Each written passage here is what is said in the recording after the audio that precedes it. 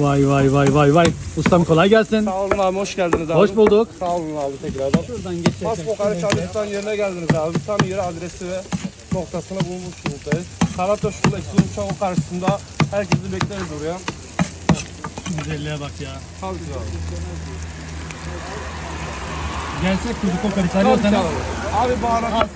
kokoreç ya ön ustayı buluyorsun. Tabii ki. Adresimiz belli. Karataş yolu üzerinde. Ali Usta'nın yeri derseniz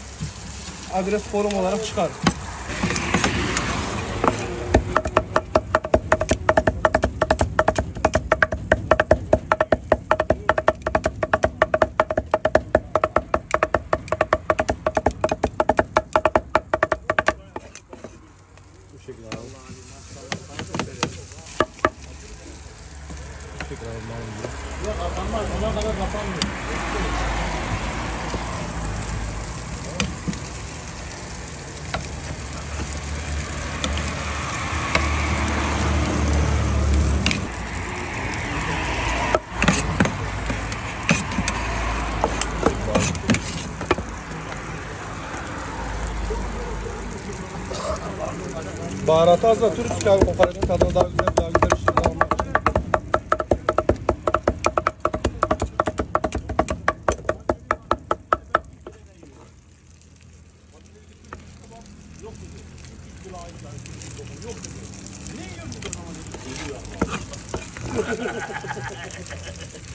Bu şekilde abi ekmek aramızda.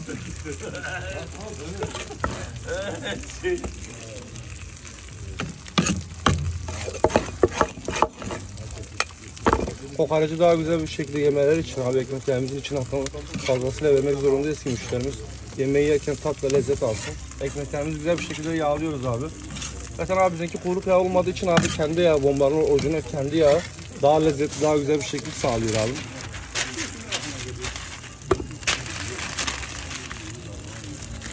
Mete. Bu şekilde kokoreçlerimizi müşterilerimize sunuyoruz. Kaç lira oldu? Bu şekilde porsiyonumuz 200 lira yapıyor abi. Tane olarak al verdiğimiz zaman 100 liradır abi. Adres alalım ustam. Adres Karataş yolu duvarında Exos çok karşısı Karamlastik yanı. Herkesi bekleriz. Sayfamız has kokoreç tavsiye ederiz. Kokorecimizi baharatsız bir şekilde müşterilerimize rahatlıkla gönüllüyle verebiliyoruz. Bu şekilde gördüğünüz gibi baharatsız bir şekilde. Buyurun abim. Bir parça alayım. Bir parça, tabii ki de abi. Baharat atmadan da kokorecimizi tavsiye ediyoruz. Çünkü bizim kokorecimizde hiçbir şekilde baharat, tuz harici kullanmadan da yenilebiliyor.